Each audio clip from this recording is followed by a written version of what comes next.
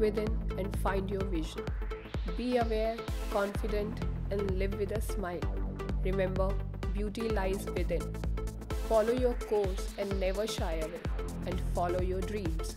That's my message for you, my friend. Hello everyone, I am Gitanjali Juneja. This is India Queen of Substance finalist 2018 from the city which is also called the Oxford of the East, Pune. I want to thank Mrs. Ritika Vinay and Mr. Vinay Yadava for giving me this opportunity. I was born and brought up in Delhi and moved to Pune after my marriage and now I am happily settled here. I am a gold medalist in computer science engineering and has done MBA with honors in IT. Currently, I am working as a quality lead with a global IT company where I am the face of business for multiple teams.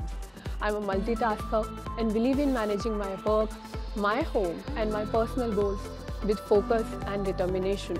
I'm a fitness enthusiast, a fashion blogger and passionate about dancing.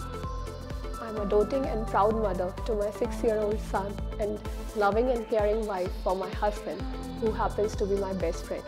I believe in women empowerment and firmly believe that greater gender diversity across different industries will help in improving the economic prosperity of my country and that will be my area of focus during my tenure by hopefully winning the title.